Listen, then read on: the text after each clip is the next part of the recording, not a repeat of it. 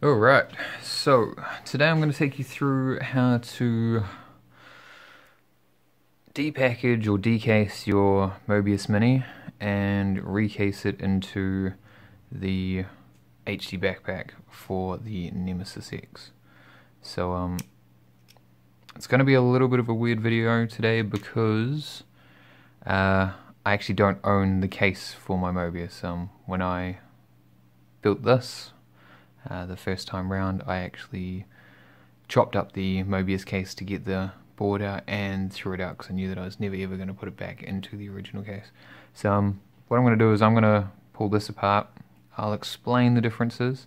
Uh, when I do get a customer order for a full camera and I decase proper Mobius, then I'll talk properly about how to actually do that. So um, the assembly of this is pretty much identical, though somewhat upside down, from the original Mobius Mini. Uh, it uses all of the same hardware, so all you're really going to need is a good quality fine tip uh, Phillips screwdriver. Let me just see if I can adjust this focus so things are clearer. That's better. Yeah, so good quality fine tip Phillips head screwdriver. Uh, there's two screws in the rear of the case. This is the same with the original case. So you're going to undo those two screws. Now keep in mind these are small self-tapping plastic screws. They are absolutely tiny. So do not lose them. I uh, tend to keep a little plastic tub or something that I can just drop them into. It also helps if your screwdriver or whatever it is that you're using um, is slightly magnetic. That can be a good thing as well. So once you've undone the two screws from the rear of your Mobius mini case, it's just going to be a matter of, essentially your case is going to be like this thing is upside down. It's going to be a matter of prying off that top and what you're going to see is the battery with the little connector. So again, I'm going to focus this to get it as clear as possible. You've got a little connector for the battery. You can see here I've played around a little bit with testing with supercapacitors and things like that to see if we could get rid of the battery. Turns out the battery is actually the lightest and best uh, option for this. Um, I believe possibly when you pull your battery off there may be a little bit of double-sided sticky tape. You'll see here I've got a little bit of, uh, it's like a silicon gel from a cell phone dash mat and I put it in there just so that there's no chance that the battery's gonna bounce around while you're flying and cause your video to be shaky. So once you pry the battery out, try not to wiggle it around too much, these are kind of stiff leads. Just disconnect it from that JST plug there. And you can put that one aside. So I'm just going to put that gear over there. Now this is the view that you'll be greeted with when you open up your case and have removed the battery. So if you've got an old style board, I bought this camera quite a long time ago, never really used it until I've put it into the new case design. Um, so if you've got an old style board, you'll see the ribbon cable goes underneath the board and there's a connector on the back side underneath here. If you've got a new style board, you'll see that your ribbon cable actually has the connector up the top. This case works with both, uh, however it is a little bit more of a tight fit with the original ribbon cable, um, but as you can see it, it, obviously works perfectly fine. So uh, now what you've got is you've got three mounting screws. So again I'm going to try and get this a little bit closer looking around the camera here so it's a little bit difficult. So you got one up here, one in the middle on the left hand side, and another down the bottom on the right hand side. So you're going to want to remove those. Same deal, taking care with the tiny, tiny little screws.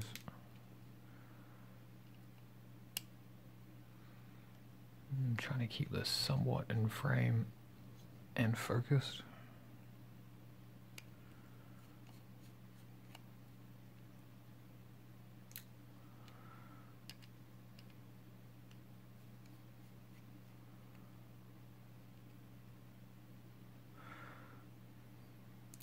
Now this is where the more tricky part comes in with the original Mobius case. So uh, you will see in the original Mobius case it has a white center that this board actually attaches to and the lens unit itself passes through the front of that white center. So what you need to do is you need to just carefully pry away this connector on the back of the sensor mount. Now you're going to get to the point where you've got to pull this board out. Now this is probably the most dangerous and trickiest part of the whole assembly, uh, or decasing I should say, when you're pulling it out of the original Mobius case. Um, what there is is on the back side of this board underneath this little SD card holder there's the digital signal processing chip and that there has a it's kind of like a double-sided thermal tape which attaches it to the back side of the case. In this case we've replaced that double-sided thermal tape with an actual aluminium heatsink which is exposed to the outside. Um, is always going to get good airflow so the cooling is hugely upgraded or optimized in this design. But uh, getting this board out off of that double-sided tape or thermal tape is quite difficult. So what I actually did, I actually, on the top side of my, imagine this is the Mobius mini case, on the top side I actually took some side cutters and cut away the black plastic part until I could carefully pry that up and pry it away from the board. Uh, what other people have done is actually lift the board out. So you just have to be very, very careful because all these tiny little capacitors and resistors, uh, you definitely don't want to go damaging one of those. So, uh, if you're confident that you're never going to use your Mobius Mini for anything else, I actually recommend cutting away the top. Obviously, if it's if you've bought it for this purpose, uh, make sure that you test it thoroughly first, so you know that you're not going to have to send it back. Worst case scenario, you can actually buy replacement cases from their or Mobius's online um, eBay store, and they're actually not that expensive. So removing the board for me is pretty easy because I can just press this heatsink in the back, and that pushes the whole board up and out. So I'm just going to put that to one side.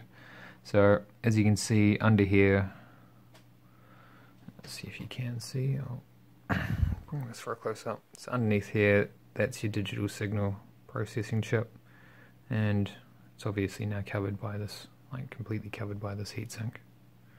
Let's bring that image down a bit darker. Yeah, there we go. So that's what makes this such a, a better design in terms of providing better cooling allowing the circuitry and everything to run more stable. Now while we've got this apart, you do need to watch out for these little, well, hang on, I'm focusing again, there we go. Do need, do need to watch out for these little components that are quite close to this. Um, in the process of designing the case and test fitting it with cases that weren't quite perfect, I did actually manage to knock one of these resistors off and it was a pretty fiddly job to solder that back on. Um, luckily, I, I, managed to, and it still works fine. Uh, I haven't had any issues since, but do keep in mind when you are installing the case that that is going to sit on top of one of these screw bosses. Let's see if we can get that so you can see it. There's a screw boss in there. Um, and so when you're putting it in, you don't want to be sliding this back and forward across the top of the screw boss uh, too much if possible. You want to be fairly, care fairly careful with that. Right, so decasing the board from the camera. If we look on the underside, this top left corner here, because remember you're going to be looking at it from this direction. So this is your little microphone chip.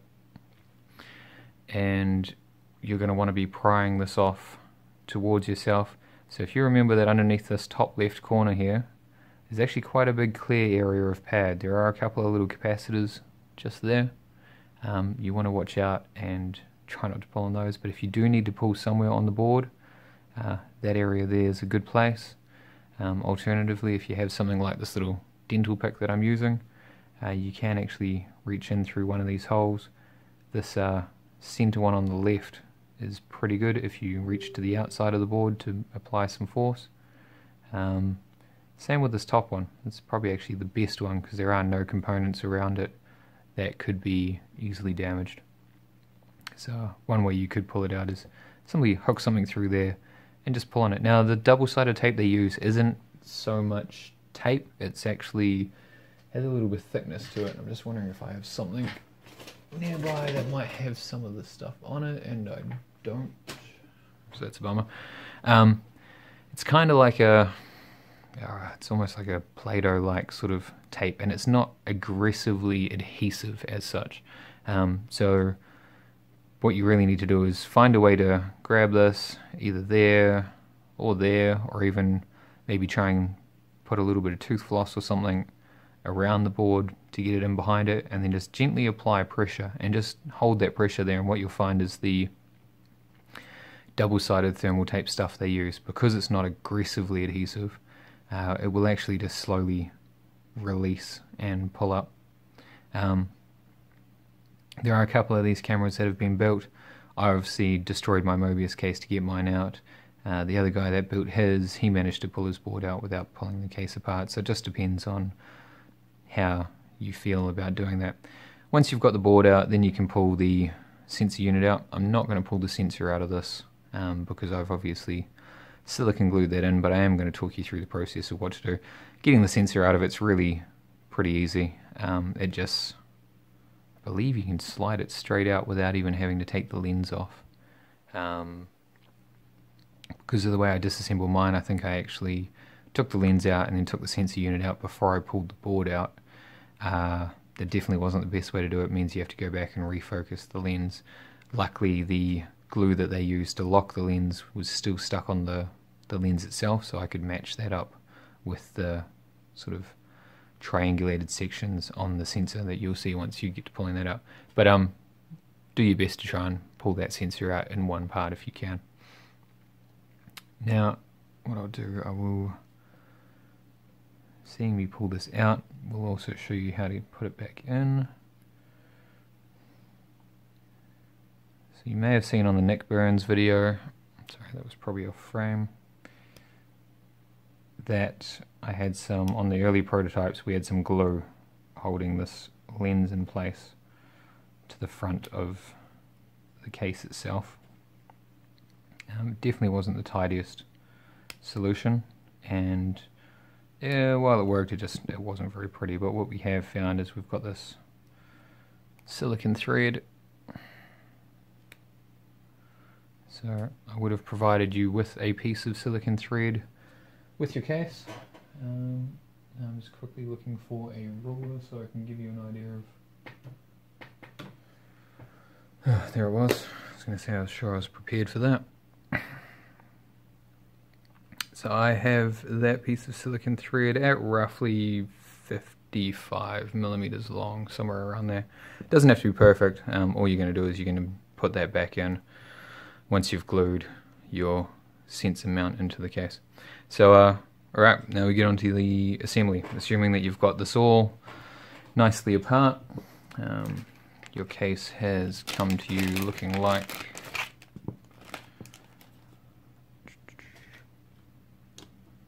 this one here. So we're just going to, let's focus that out a little bit further.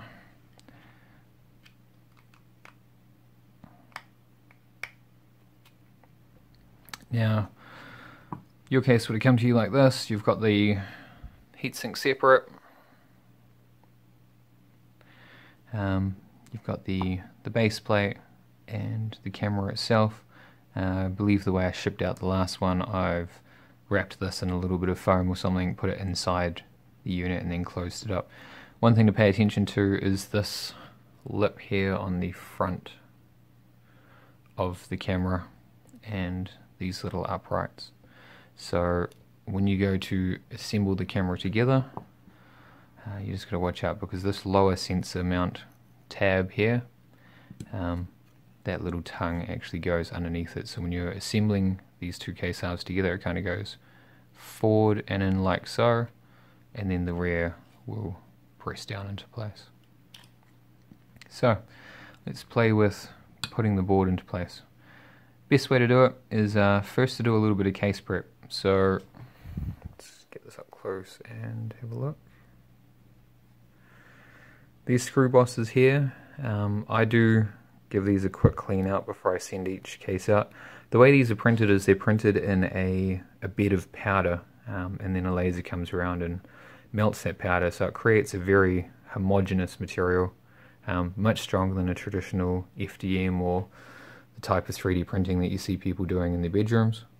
Um, but one side effect is quite often these little holes and things can have a bit of uh, that powder left still in them. So I do clean them out, but if you want to double check it, uh, it's always better to be safe than sorry. Uh, so what I do is I just quickly give those a little ream around the top edge just to make sure that there's not going to be anything there. Try not to remove too much material because these are pretty well, sorry that was off camera, that's really bad. Um, these are pretty well sized for the screws, you don't really have to remove much, you just want to make sure that none of that loose powder is in there. Then what you're going to do, going to do, you're going to take that heatsink and you're going to push it into its position. Um, this is how you make sure that the heatsink aligns perfectly when you put the board in. So then you take your board. Now notice that this USB connector, I'm just going to refocus that. This USB connector does actually protrude into the little USB connector hole on the rear of the unit. So now imagining that your board doesn't already have the heatsink on it, you're going to get that USB connector about right. Try and eyeball where these three stand uh, screw bosses are and try and make sure that they're going to align with the three holes in the PCB. So once you've done that, now it's easiest to do this step before we glue the sensor in. So we'll get that uh, the heatsink mounted onto that board. So you're just going to simply put that uh, USB section into the hole in the rear of the case. Um, keep an eye out for where those screw bosses are and then you're going to settle that PCB into place. Now because I've already got my heatsink on here and I'm, it's very difficult to take off, uh, I'm just going to assemble mine and it's very hard to see but like the screw bosses all line up, so that's perfect. You do get a little bit of play, like not a lot, but a tiny little bit of play. The other thing to do is that you do have to um, check out your sensor cable. So if you've got an old style board like mine, it's a little bit harder because you have to have that assembled on the underside of the board. Uh, this cable comes doubled up slightly differently, but you'll see that I've got it folded very close to that rear edge of the cable there. So I'm just going to try and get you a closer look at this. Yeah, so you can see that fold is very close to that plug. Um, it does need to be because with these old boards it really is right at the limit of its travel. Alright, so now let's talk about putting the sensor into the case itself. Alright, so the sensor goes into the case. Basically what you want is a little bit of silicon glue on the top and the bottom. I put some on the sides, but I found out that that's not really necessary and actually made it a little bit more difficult to get the board in place. So just a little bit at the top and bottom, all you're doing is uh, isolating the movement, tying it into the case. Um, the good thing about using silicon or a, a, a soft glue like this is that uh, when it comes to servicing the camera later down the line, you can simply remove the silicon thread that holds the front of the lens, push on the lens, and the whole unit will pop out the back without too much uh, resistance. Um, means that if you, I don't know, in the rare rare case that you manage to break a case or you want to change it around, or if you do what I did and put your sensor unit in upside down the first time round, then uh, at least you can pull it out and put it back together without too much drama. So get that in there, um, put it in a nice warm place for it to cure. Once it's all cured up, then you can reassemble the case. or reassemble the board into the case I should say. Get that in there, get your little socket lined up. So I'm just going to press that home now. You will hear it click when it goes into place, which is good. Um, it does fit both ways, and I found out the hard way that if you fit it the wrong way, the camera just simply doesn't power up. Um, doesn't actually damage anything, which is awesome. But uh, yeah, if you if you put it all together and it's not powering up, uh, double check that your sensors are on the right way. Because uh, I freaked out that when I tried to repair mine, that I hadn't been very successful, and it turned out to just be the sensor. Okay, so you've got that in all in there. Your sensors glued. You've got your ribbon cable put in. Uh, board's all nicely located. Double check. Well, sometimes when your board is uh, just sitting there, the buttons actually don't work very well. But double check that they do work. In this case, all of mine are working. Now, what you might notice is that I actually have a little bit of black electrical tape just in there. Hopefully you can see that. Um, I've just put that in behind the buttons. Uh, that just stops any grass or debris getting into these button openings. Um, previously, the Mobius cases were actually quite well enclosed. It turns out that they've recently modified their design and they've put vents all along one side. So now this uh, camera is probably actually better enclosed than the original. So I'm just going to chuck that down for a second. Go back into my little bags, my little thing of screws, and grab a couple. Now these are little self-tapping plastic screws. Um, and one thing that you really want to pay attention to when you're doing this, the first time, just simply get them located, wind them in. If you pull it apart for any reason and are redoing it, reverse the driver until you feel it click down into place. There we go. And then drive it home. And what that'll do is make sure that the self-tapping screw isn't re-tapping another thread. Uh, if you do happen to just chuck it in and drive it home a couple of times without finding that thread again, uh, you will destroy the plastic and the screw bosses. Um, so same again, because I'm, I'm redoing this, it's not the first time, I'm going to back that out until I feel it click, and then drive it in. You know you've got it right because as you go to put it in, it uh, offers very little resistance. Um, it's almost like screwing it in to an existing thread, which is exactly what's happening.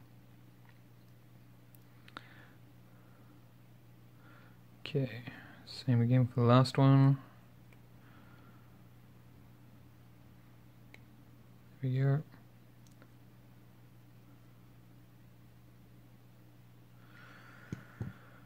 Okay, so that's the PCB in. Now you can officially double check all your buttons. Yep, they all work nicely. I'm going to chuck my little piece of dash mat in. If you've got something there, maybe a couple of layers of sellotape or um, electrical tape or whatever you want to use, might work well for you. Um, I use this. It just makes sure that the battery stays in position. So I'm now going to hook up my battery, lay that down into place. Now, you will see here that this little battery connector is quite high and gets quite close to all the rest of these features. So when you look at your case, you will see that one side of it, just chuck this bit down, one side of your case does have one big step and one with a little notch in it. Now these here stop any side play happening at the front of uh, the case when they're assembled, but you just want to make sure that when you put that in that that smaller notch there is going to clear the battery mount. So that's actually a brand new one. I'm going to use mine. Mine was one of the test pieces. You can see I've cut away the plastic. And once you've got that all in there, it's just a matter of closing up the back. There'll be a little bit of resistance as you put that together. And it just requires a little bit of force and you'll see that the holes in there line up nicely. So same again. Grab your screws. For me, third or fourth time that I've pulled this one apart for various reasons, I'm just going to back that up until I get that click. Feel that screw drop into the thread. And just wind it home. These ones, now all of these you don't want to wind, like screw them in too hard. They're tiny um, and they are going into pretty small screw bosses. So you got to be fairly gentle the whole time. Um, really feel this. The screw will tell you when it's when it's had enough. These back ones do kind of go in until they're pretty flush with that rear surface though. So there you go. It's a nice clearer view. So you can see nice and flush there. Not too much issues. Now what you've got on the back here, you'll see there's two holes. This one is a recording indicator hole, and this one here is your reset button. The Mobiuses do sometimes, for random reasons, lock up. Uh, one thing you do want to do is not press the power button and the record button at the same time, and they're directly opposite, and it's kind of hard. You do tend to go to press the record button, and your finger just happens to be on the place of that one. It's just a, uh, a thing to try and avoid. Actually, one thing I have missed while I've had this all apart is the lens. So uh, in the white center section of your Mobius Mini, there is this clear recording indicator lens. What you need to do is push that out of the white piece. Uh, you'll see it is quite long, so um, what you do need to do, I put mine through the case and then used a oh, one of the fiance's nail files to file it down to the right thickness. Um, an alternate option would be to actually, instead of putting it from the inside outwards, put it from the outside in, um, and then you won't actually have to change the length, but you will have kind of a, a wider section around the front. Uh, when I put that in, I just put a dot of super glue either side, and that just worked itself in between the parts. Um, and then when I've clear coated this, it clear coated the lens and made it nice and shiny where I'd sanded it. Uh, obviously, I've already clear coated the lenses that I that I send out, so uh, you'll just want to touch that up with a little bit of clear nail polish if you do um, happen to sand yours down. So now you've basically got a working HD backpack. Last thing to do is the lens um, and just make sure that the front of this lens is nicely secured. When we initially built these, we were doing some testing. If you don't do this step, that lens tends to wiggle a little bit inside the case uh, and can cause a bit of issues with um, jello and vibration. So this is where this little dental pick comes in really handy, but anything of a similar kind of size, could even probably use a toothpick or something. You just want to push this silicon thread into that gap between there. Now, when you've had your case apart, you would have noticed that the lens has two grooves in the barrel uh, down inside here. So what I do is I actually push it quite a way down. Um, and then it's just a matter of working it around this lens. As you get to the far side, it's going to get pretty tight. Um, this is a good thing because it means that it's not going to slip out and cause any issues, but uh, it can be a little bit fiddly to try and get into place. So just bear with me while I fight with this. I think I've just won that battle. So.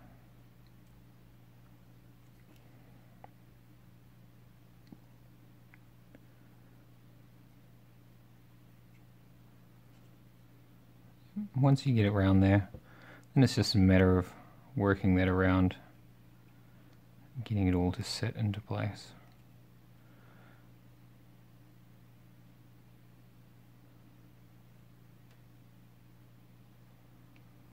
There's no specific depth you have to do it down to.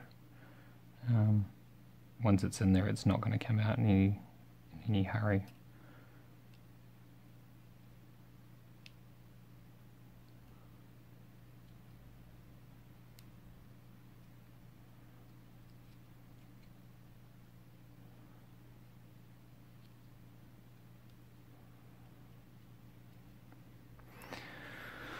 There you go. Barring a little bit of smudges on the lens, that is pretty well assembled. That lens is nice and isolated with the case. And I wouldn't expect to have any issues with that. Just grab a little lens cloth, give that a bit of a tidy up. And that is now ready to go. Now one thing to keep in mind, obviously we did put that board in essentially upside down so you will need to download the Mobius software and flip the image but that's a very simple thing to do once you download the M setup software. The other thing to remember now is that your SD card will go contact side up when you put it in there. Um, try not to shoot your SD card across the room. You will see that one modification I made since the Nick Burns video is that I've added a little bit of extra protection here for the SD card so that in the event of a crash that can't take a hit and cause the SD card to eject. In all the crashes that we've had with these we've never had a battery ejection. So now you should be able to power up your Mobius Mini. Got your card in there. Hopefully you've formatted it. It's all set up. You have power and this is your record button. Give that a press, things should start flashing. If you look at the rear, you have the recording indicator on the rear of the camera. And that thing's good to go. A little bit of camera inception going on.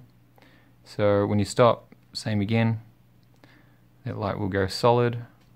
If you want to turn it off manually, you just press and hold that until it flashes. Otherwise, uh, I think standard they come out with a 30 second auto turn off time, so quite often I just hit the stop recording button. Don't bother about turning it off manually. Um, if you need to, well, when you hook it up to the computer, that's what this here is for. There is a little opening here, so if you are game to give it a go, you can actually what solder to the back side of this USB. It's a 10 pin USB, so the pins are tiny but uh, you can actually basically get to the 5 volt input source for this. Um, put out a little set of fly leads, we've done it before with a little plug on it, and then you can actually hook the camera up to the 5 volt regulator in your quadcopter. Um, you can then turn this to record on power uh, within the setup software, and every time you connect a flight battery, it will start recording. It's a great way to make sure that you don't miss any footage. Personally, though, I tend to pull this on and off um, quite often, and I actually just fly using it standalone with the internal battery. So 1080p, 60 frames per second, you get about half an hour's worth of uh, recording before it needs to be recharged. Um, I think you get a little bit longer at 1080 30. Haven't personally tried it just yet, but uh, yeah, I found that to be perfectly adequate for me. And go out, fly a few batteries, record some, and then I tend to switch it back to top mount and go flying again. You will see in the case that I have provided two little washers. So I'm just going to chuck this stuff down, refocus here. Let's bring in the Nemesis. So the 8mm long titanium screws that are included with the Nemesis um, in the original kits are long enough to mount the camera without having to change it out. Um, if you have one of the newer kits that has the stainless steel screws, you'll see that I've included 6mm screws uh, in the kit for the top here. Um, so what you will get, you will actually get some 8mm screws in with the camera case that will allow you to mount this. Yeah, um, depending on how you've set your quadcopter up, you'll see here I've got a cable tie holding my uh, little dipole antenna to this rear spine. So these two washers here, just simply for the back here, so that when I put the camera on it keeps it above that cable tie and you're not stressing out the plastic um, of the case too much.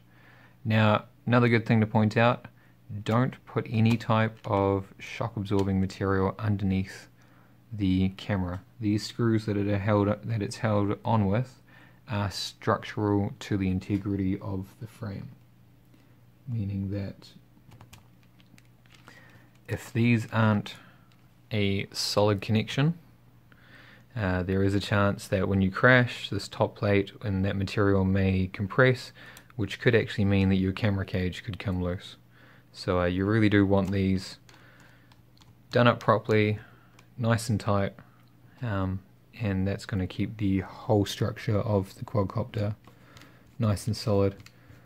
Also means that there's no chance of soft mount induced jello or vibration uh, getting into your footage. So we find that it actually records really, really well. Um, when it's properly hard mounted like this, these two parts have now just really become one. It's a much more solid option than pretty much any other camera mounting out there. And you may even just be able to see the little gap at the rear now for that cable tie. If you happen to be using a 2020 uh, VTX in your stack, um, there's a good chance you won't have a cable tie up the top, so you don't need to worry about the washers. Just bolt the whole thing down solid and you're good to go. So uh, after that, I think that's pretty much it. That's a pretty long video. Um, thank you very much for purchasing the HD backpack. As I said, I probably will revisit this video when I have a original Mobius to do the decasing and building right from the start. But um, I hope they helped you. I hope it's all straightforward. Obviously, if you have any questions, any issues whatsoever, um, get in touch. Facebook, I'm always uh, watching that. That's probably the fastest way to get a response from me. Otherwise, uh, flick an email to brdmdesign at gmail.com. Uh, message me through the store. Basically, all of those things I'm going to be monitoring, and I'm more than ha happy to help out and explain uh, any questions that you may have. So, hope that's all good. Hope you love your camera and uh, happy flying. Thanks very much. See ya.